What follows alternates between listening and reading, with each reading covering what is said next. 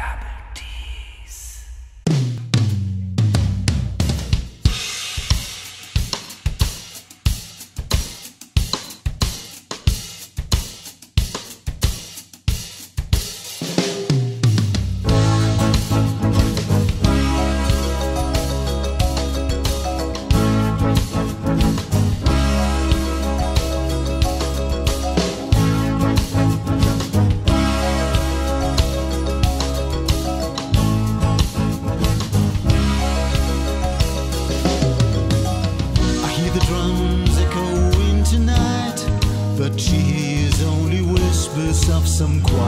conversation.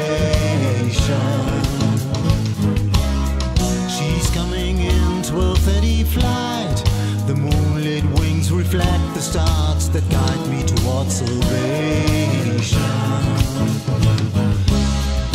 I stopped an old man along the way, hoping to find some old forgotten words or ancient.